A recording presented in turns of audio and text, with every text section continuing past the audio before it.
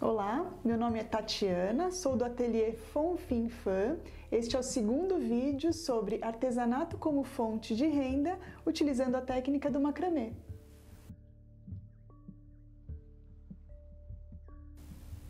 Este é o suporte para a planta que nós faremos agora, num passo a passo bem explicado, especialmente para você que é iniciante. Na sequência, falaremos sobre custos para fazer essa peça e a precificação também. Então, vamos juntos!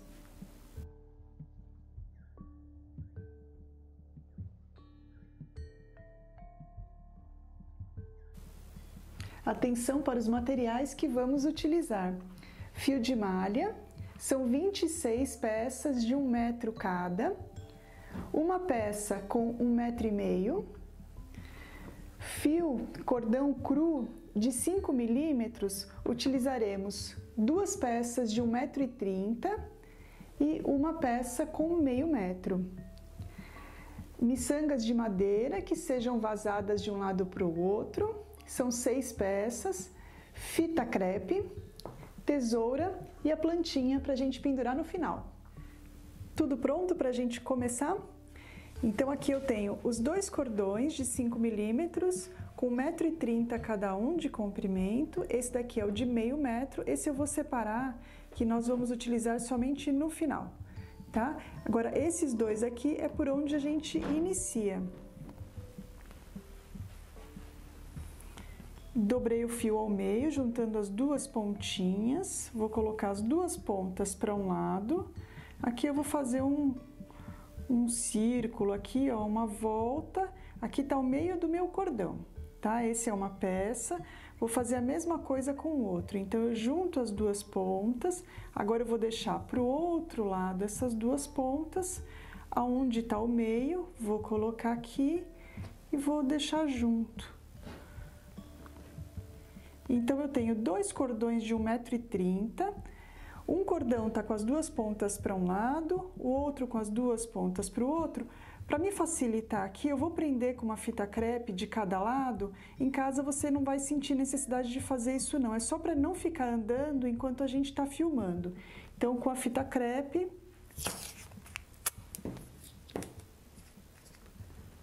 só para facilitar aqui o nosso passo. Então essa daqui é a base, é a preparação para a gente iniciar o macramê. Aqui está o meu fio de malha, eu separei metade da quantidade, então aqui eu tenho 13 peças com um comprimento de um metro, tenho mais 13 que está separado, que o total é 26. Então agora é com o fio de malha que a gente vai iniciar a parte do macramê. Eu vou separar aqui, vou tirar de cima, pronto. Todas as peças nós vamos dobrar ao meio, então é só juntar as duas pontinhas. Aonde deu aqui a dobra do desse fio, eu vou passar por cima. Eu vou trabalhar primeiro essa meia volta aqui, depois a outra meia volta, repetindo. Então, olha, vou passar a dobra aqui por cima e as pontinhas eu passo por dentro dessa dobra do meu fio. Deixa eu puxar aqui.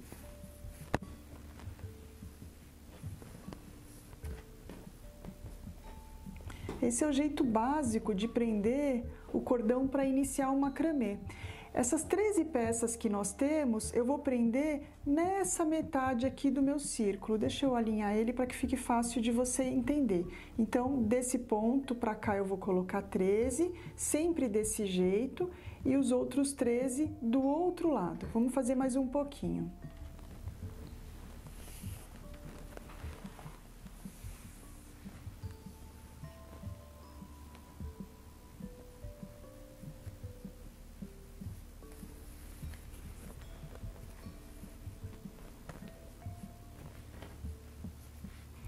Nesse ponto é legal eu te falar que o fio de malha tem elasticidade, então quando a gente puxa aqui, ele vai ficar mais firme até do que se fosse esse cordão, né? Você vai sentir que ele traciona mais. Aqui eu vou distribuir de maneira igual. O tamanho dessa minha volta, não se preocupe, né? O jeito que você está fazendo aí, porque ele é ajustável. Então, se tiver largo ou se tiver estreito, né? Meu círculo aqui no meio, é só a gente ajeitar por, esses, por essas duas pontas. Então, bora seguir colocando os demais fios aqui nesse círculo, que o ajuste é feito daqui a pouco.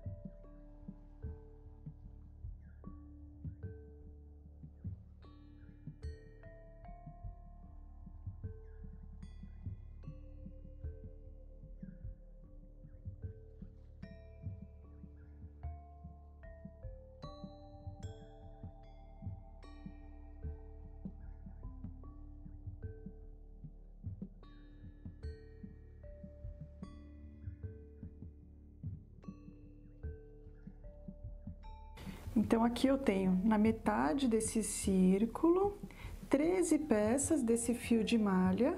Eu vou girar o meu trabalho e vou repetir do outro lado, sempre prendendo do mesmo jeitinho.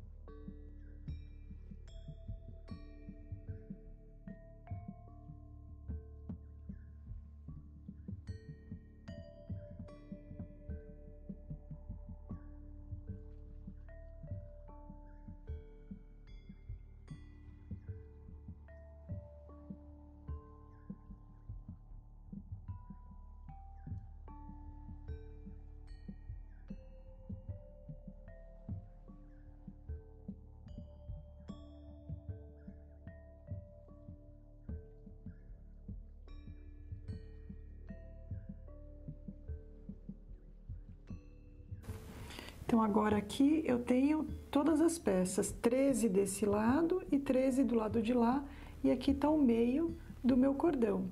Então, vamos ajustar agora esse espaço para deixar mais ou menos por igual, mas lembrando que ele é regulável. Até o final, com a peça pronta, a gente consegue ajustar, inclusive até para caber melhor no vasinho.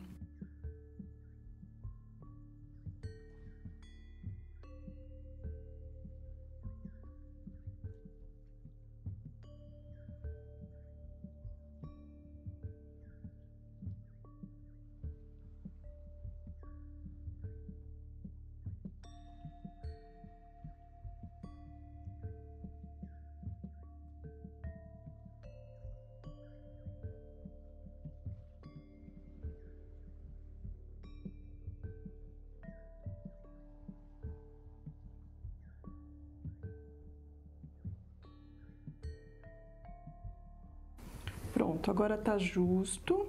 E aí, terminando essa parte de prender a malha no cordão de base, nós vamos iniciar o macramê. O nó do macramê que nós faremos é o nó quadrado, é o nó básico, é o mais simples de fazer. É, Para quem viu o vídeo número 1, um, é o mesmo nó, só que agora a gente vai construir um cachepô mais fechadinho com essa técnica. Você vai observar que a minha mão, eu vou trançar desse lado de cá para que fique certo aí para você no vídeo. A minha mão parece estar de ponta cabeça, eu estou trabalhando numa mesa, mas eu vou indicar a posição certa do lado direito e esquerdo para você que está assistindo. Então tá ao contrário do que eu estou é, vendo aqui, né? Para mim tá de ponta cabeça, mas para você tá direitinho aí, tá certo. Então aqui eu separo os primeiros quatro fios, esses dois do meio são sempre a base, eles a gente não mexe. Então vamos lá, primeira, cor, primeira parte desse nó, eu pego o fio que está do lado direito, aí para você que está assistindo eu passo por cima dos dois fios de base, aí ele veio para o outro lado, pego o fio que está aqui do lado esquerdo, passo por cima desse e venho por trás e aqui por dentro dessa laçada. Aqui eu vou puxar ele para cima e foi feito o primeiro lado desse nó. Sempre a gente tem que fazer o direito e o esquerdo. Vamos agora para o lado esquerdo. Então, agora eu pego do lado esquerdo e passo por cima dos dois fios de base, deu a volta aqui, veio por cima, o fio que está aqui do lado direito passou por cima dele, por trás e entra aqui nessa laçada. Esse é o nó quadrado é o nó básico do macramê, é o primeiro nó que a gente aprende quando está iniciando nessa técnica. Então, é sempre necessário ter os quatro fios para que seja feito o nó. Então, fiz aqui o primeiro, vou separar esses fios aqui para o lado para não te confundir. Pego os quatro próximos fios, vou separar bem aqui para que fique fácil. Vamos repetir esse aqui. Então, os dois do meio estão aqui, esse a gente não mexe. O fio que está do lado direito, eu vou cruzar ele por cima dos fios de base. Aqui, dei a laçada aqui por cima. O fio que está aqui do lado esquerdo, passa por cima desse fio e por trás e entra aqui por dentro. Aí é só ajustar e trazer para cima.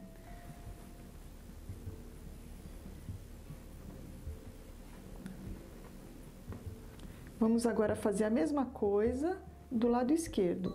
Cruzo o fio aqui por cima, passo esse aqui e venho por trás.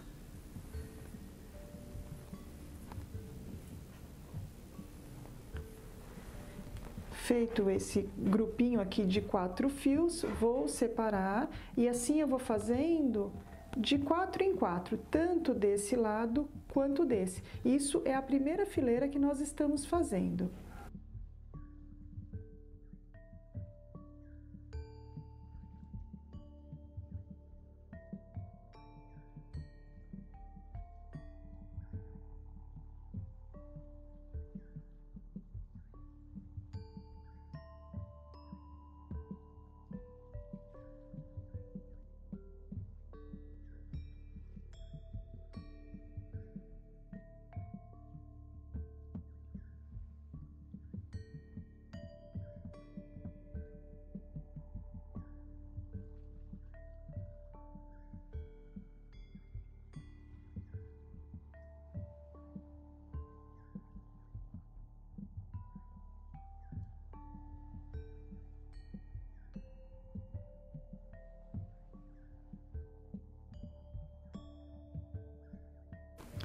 Então, aqui nós finalizamos a primeira fileira do lado de cá. Sobraram dois fios aqui, tá certinho? Porque nós vamos intercalar com esses dois que estão do outro lado. Só que a primeira parte, eu vou fazer esses nós aqui desse lado de cá. Então, eu já vou começar deixando dois. Eu vou virar o meu trabalho para ficar fácil para que vocês vejam daí. Então, agora o trabalho que a gente fez está aqui na parte de cima, que eu girei dois fios que ficaram sobrando aqui no final, agora eu vou deixar sobrando no começo. Então, esses dois eu não vou trabalhar e vou seguir com os quatro próximos fios do mesmo jeitinho, o mesmo nó. Vamos lá.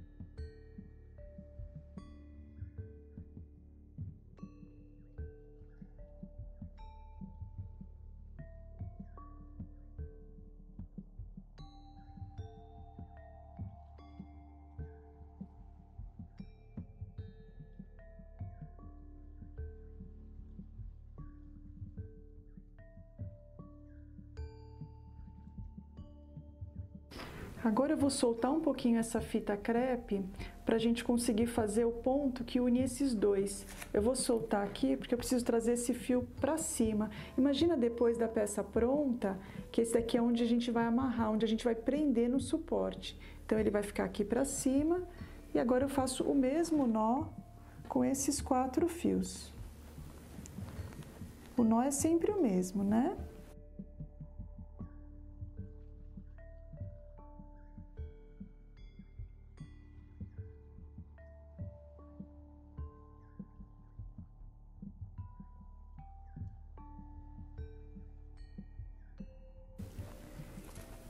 Então, esta foi a primeira fileira.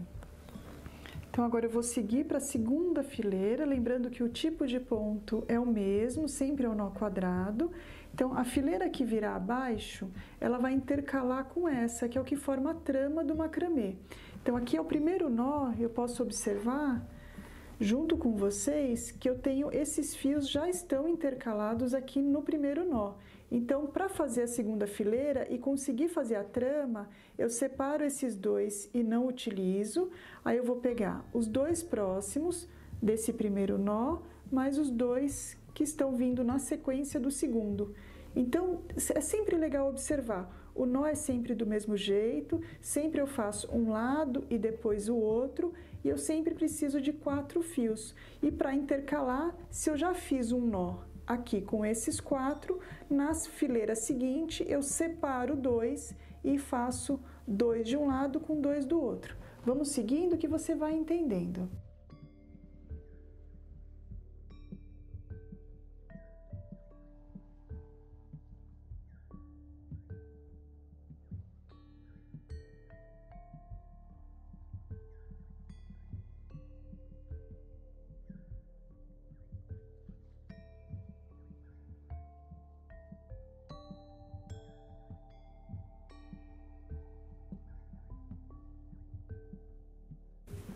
Segunda fileira eu faço justa com a primeira, tá?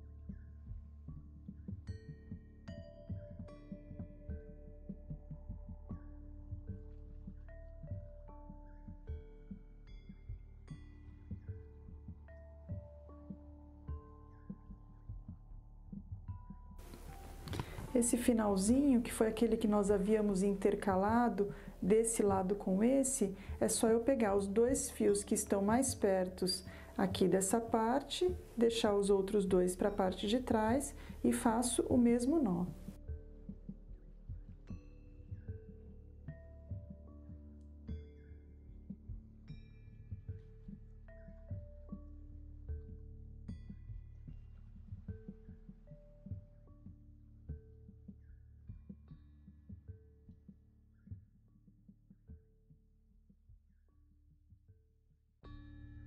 Então, eu vou repetir, eu vou virar o trabalho, eu vou repetir para o outro lado. Vamos lembrar que no começo eu não utilizei esses dois fios, então quando eu for iniciar a parte de trás aqui, eu já vou iniciar os dois fios que estão do lado de lá com os dois do lado de cá. Aqui eu já vi intercalado na primeira fileira, desse lado de cá intercalo na segunda, então eu vou soltar aqui para conseguir intercalar aqui por baixo. Fazendo essa segunda fileira inteira, do mesmo jeitinho, eu vou posicionar meu trabalho diferente, porque agora ele vai seguindo reto, que ele vai ficar do tamanho do cachepô. Nesse ponto, vamos entender como é que está o nosso trabalho para a gente seguir adiante. Então aqui será onde eu vou colocar depois o meu vasinho, nesse espaço aqui de cima. Nós estamos crescendo o trabalho para baixo.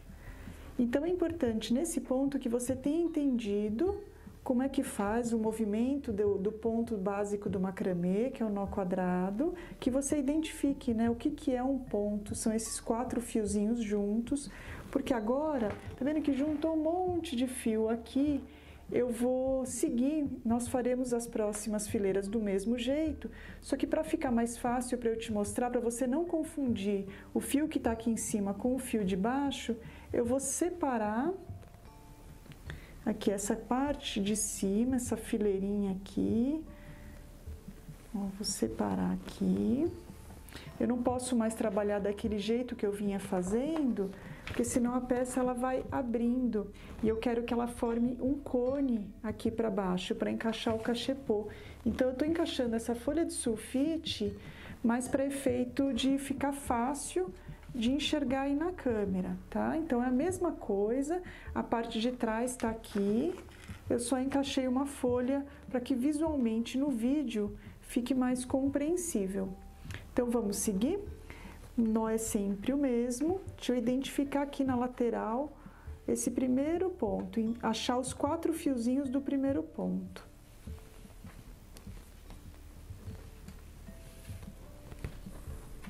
Vou separar esse do cantinho, vou começar por aqui. Então, esses são os quatro fios desse ponto.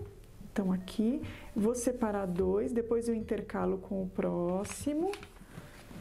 E vou pegar dois fiozinhos aqui do próximo nó e vou seguindo fazendo nó quadrado. É sempre assim, preciso de quatro fios, quando chega no canto, se sobrar dois, significa que eu tenho que pegar dois que estão na parte de trás. E assim eu vou construindo uma fileira atrás da outra. Vamos fazer mais um pouquinho, depois eu adianto o vídeo.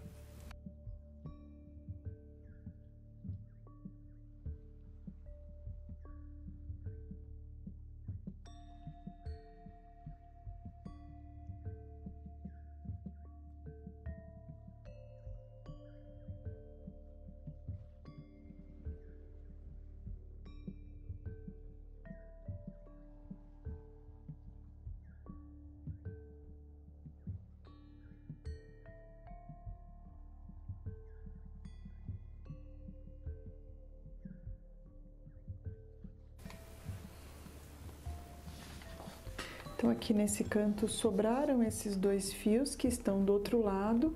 Eu vou virar a peça lá para o outro lado. Ui.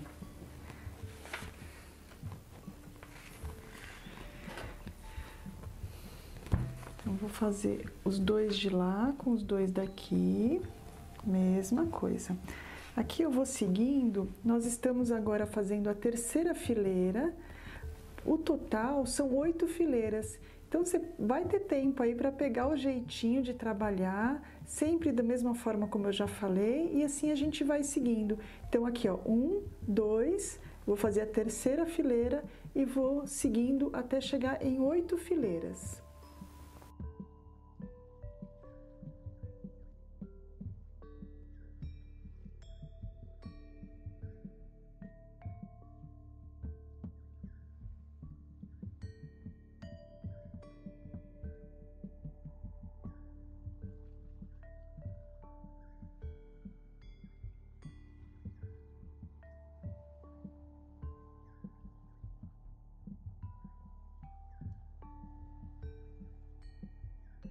Gente, aqui eu tenho sete fileiras prontas, vou fazer a última agora.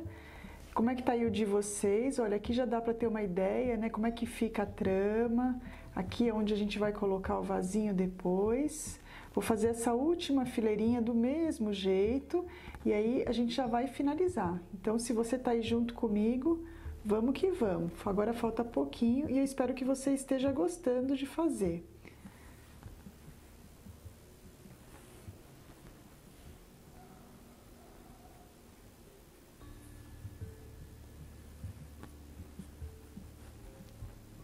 Não sei se você tem dificuldade para contar quantas fileiras você fez. Eu acho que fica fácil assim, ó. Um, dois, três, quatro, cinco, seis, sete fileiras, que agora eu tô na oitava. Então é só você escolher um ponto aqui que é mais sobressalente e você vai contando daí para cima.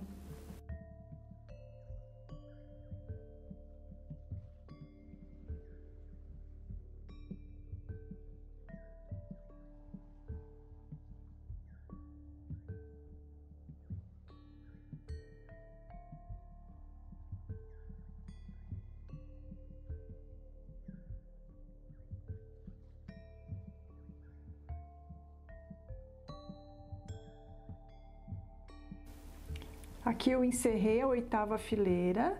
É suficiente para colocar o vasinho, mas caso você queira fazer maior, né, mais comprido para dar um outro efeito, aí fique à vontade, é só ir seguindo. A gente tem fio suficiente aqui. Tá certo? Então agora a gente vai para a parte do acabamento aqui de baixo. Vou só me organizar e separar o material. Vamos ajeitar aqui a forma que ele vai ficar no final, então já deixo ele meio redondinho. Vou ajeitar aqui todos os fios para que eles fiquem do mesmo tamanho. Você pode girar a sua peça para acomodar melhor. Escolha um lado para ser a frente. Agora nós vamos utilizar esse cordão que tem meio metro. Então, mais ou menos aqui no meio, a gente passa ele para trás traz de volta aqui para frente e dá um nó. Esse eu estou fazendo um outro tipo de acabamento, diferente do primeiro vídeo, até para dar um outro resultado e você escolhe qual você gosta mais. Se você ainda não viu o primeiro vídeo, vale a pena.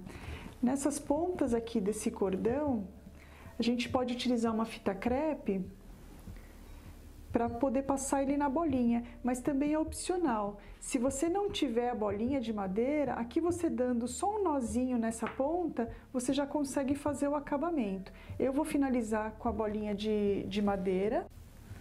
Então, com um pedaço de fita crepe, vou colocar aqui na ponta, deixando ele bem apertadinho.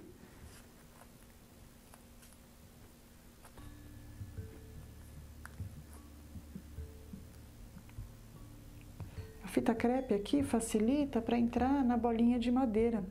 No outro vídeo eu ensinei com agulha de crochê, então agora estou ensinando de um outro jeito e você vê o que acha mais fácil. Que é só puxar.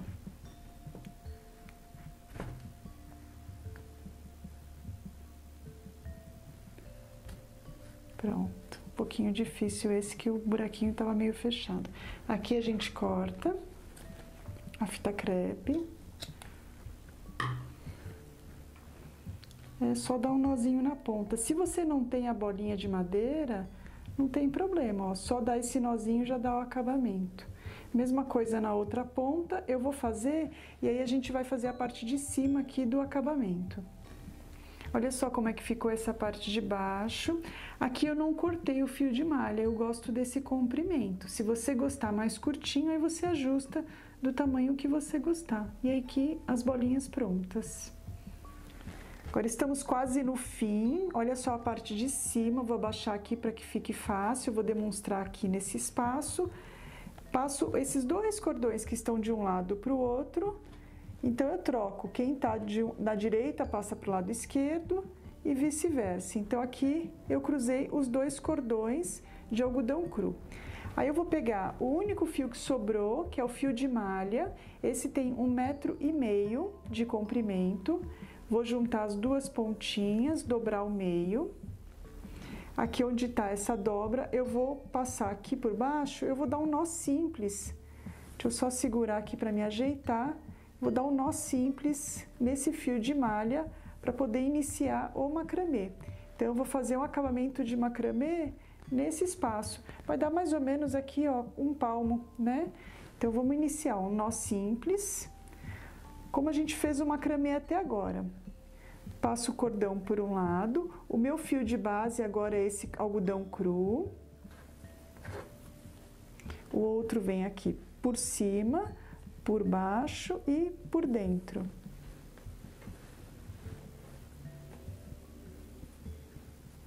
Deixa eu virar aqui para ficar na posição que vocês estão vendo. Acho que assim fica mais fácil, né?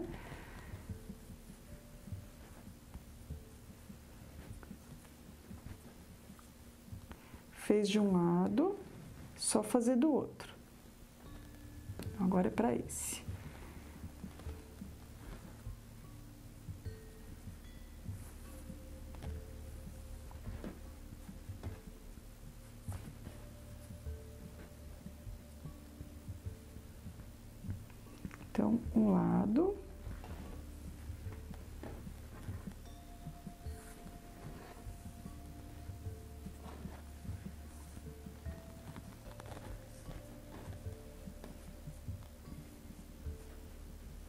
Depois o outro.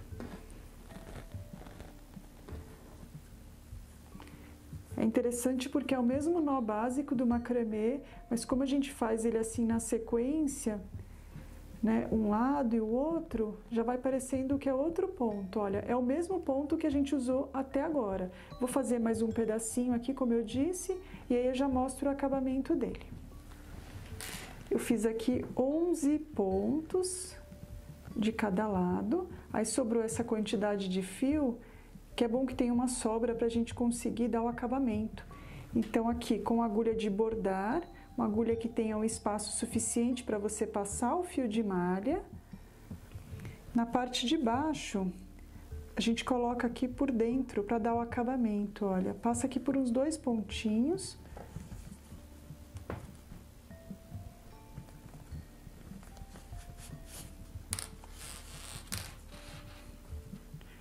Então aqui é só passar por dentro e aí pode cortar justo, que aqui ele já não vai desfazer.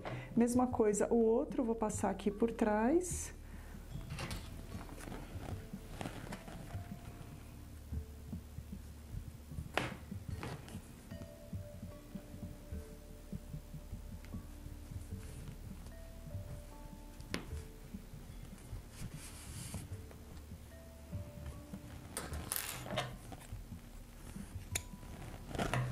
Esse acabamento fica por baixo, né? Aqui é a parte que aparece.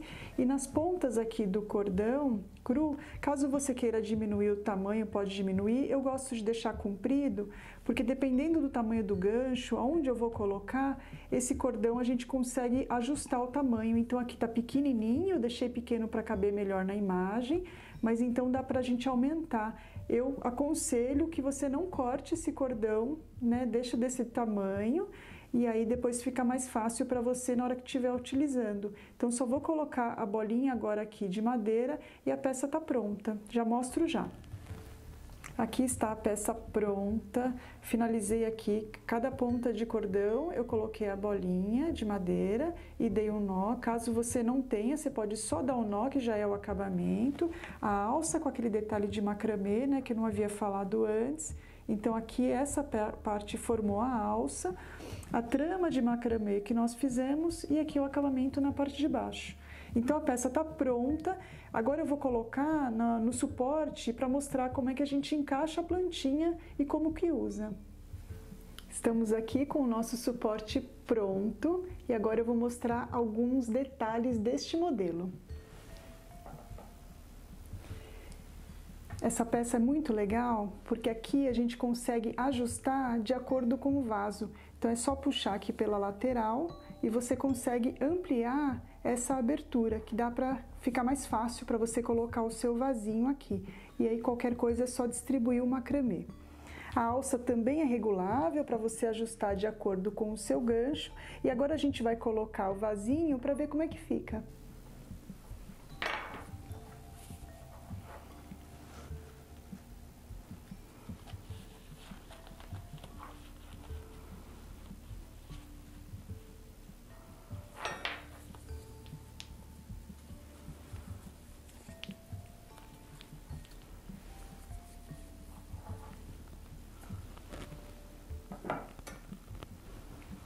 Olha só que bonito esse acabamento do macramê, não é mesmo? Espero que você tenha gostado.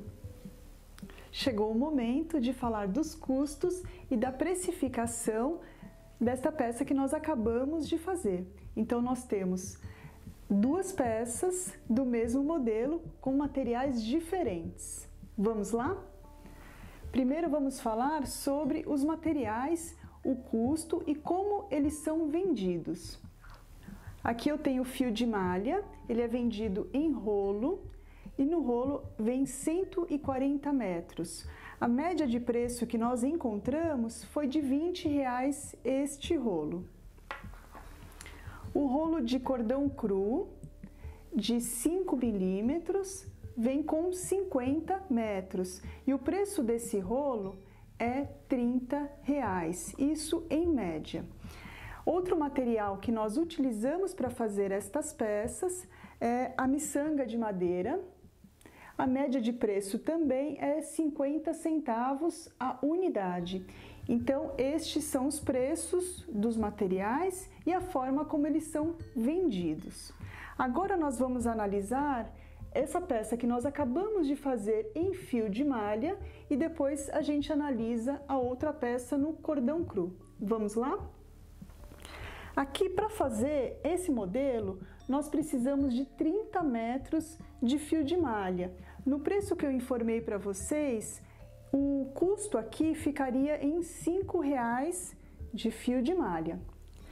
Esse cordão cru, que vão 3 metros aproximadamente para fazer essa peça, ficou em R$ 2,00 e as bolinhas de madeira, que foram 6, ficou em R$ 3,00. Então, para confeccionar essa peça inteira, nós gastamos R$ 10,00.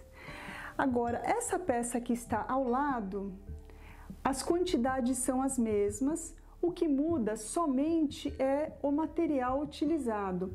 E aqui é interessante você saber que aqui no cordão cru é, foi gasto 18 reais para fazer essa peça só do cordão cru, sem contar com esse do, da alça, né? Do corpo, que aqui é equivalente a 5 reais. Então foi 18 mais 3 reais das bolinhas e mais 2 reais desse cordão aqui da alça. Então, olha só que interessante a diferença. Aqui eu fecho o custo em 23 reais essa peça inteira e essa daqui em 10 reais. Acho importante a gente ter consciência, né, ter conhecimento do quanto a gente gasta, o quanto custa o material, para depois você formular o seu preço e justificá-lo ao seu cliente. Sabendo o custo, vamos agora falar sobre o preço final ou preço de venda. No primeiro vídeo, fizemos algumas reflexões sobre fatores que podem influenciar nesta composição de preço. Se você ainda não assistiu, vale a pena. Neste momento, nós vamos pensar na forma mais simples que abordamos naquele vídeo, que é o preço do custo vezes 3 está contemplando aí a sua mão de obra. Para fazer essa peça, nós tivemos um custo de 10 reais vezes 3, o preço final fica em 30 reais. Essa outra peça, nós saímos de um custo de 23 reais. Se nós simplesmente multiplicarmos por 3, o preço final dela chega em 69 reais. Vamos pensar um pouco? A mão de obra para fazer as duas peças é praticamente a mesma. Nenhum material apresenta maior dificuldade. Então vamos voltar a analisar. Esta peça de fio de malha, nós chegamos a um preço final de 30 reais, que seria 10 do material e 20 de mão de obra, naquela conta do material vezes 3. Aquele outro modelo em cordão cru, nós chegamos no material de 23 reais e ao multiplicar chegamos em 69. Se os dois materiais não apresentam nenhuma dificuldade no seu manuseio, será que nós não poderíamos pensar em trazer o valor da mão de obra aqui e aplicar para aquela peça? Então nós teríamos 30 reais de preço final aqui e 43 reais naquela peça de cordão cru. Como você pode perceber, a regra de multiplicar por 3 o valor do material deve ser analisada, especialmente quando você tem duas peças do mesmo modelo, mas com valor de material tão diferente. Isso para que o preço entre elas não fique tão distante. Lembrando também que é muito importante para compor o preço que você faça uma pesquisa na internet para ver o preço praticado em produtos similares ao seu. Foi ótimo ter compartilhado mais esse conteúdo com vocês. Espero que vocês tenham gostado.